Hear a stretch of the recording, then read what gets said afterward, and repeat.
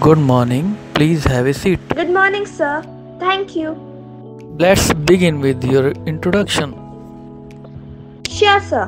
My name is Aman Patel and I have completed my BTech in Civil Engineering from XYZ University in 2023. I have six months of internship experience with ABC Infra Limited, where I worked on site supervision, quantity estimation, and quality checks.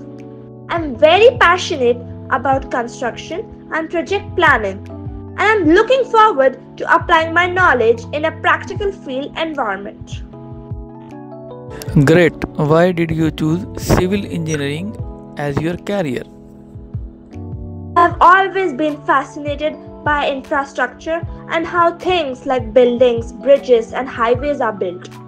Civil engineering is a field that directly impacts the development of society, and being a part of this process gives me great sense of satisfaction. That's good reason. Can you explain what a bar bending schedule? Yes, sir. A bar bending schedule or BBS is a detailed list of reinforcement bars used in structure.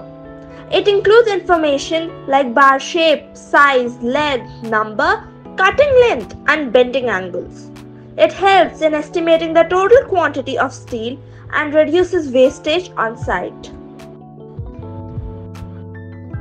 Very good.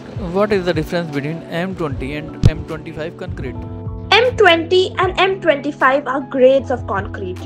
M20 has a compressive strength of 20 MPa, while M25 has 25 MPa. M25 is stronger and is used in structures that require higher strength, such as columns and beams. Okay, what software tools are you familiar with? I have basic knowledge of AutoCAD and STAAD Pro. I can prepare 2D drawings in AutoCAD and perform structure analysis in STAAD. I'm also learning MS Project for planning and scheduling.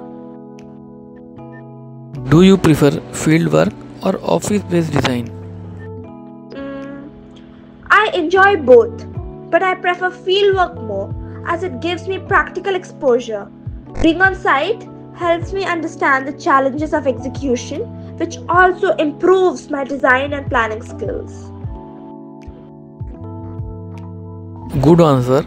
How do you handle pressure on work deadlines? I try to stay calm and break down the work into small, manageable parts. I prioritize tasks, avoid multitasking, and maintain proper communication with my team. Time management and planning help me to stay on track. Do you have any question for us?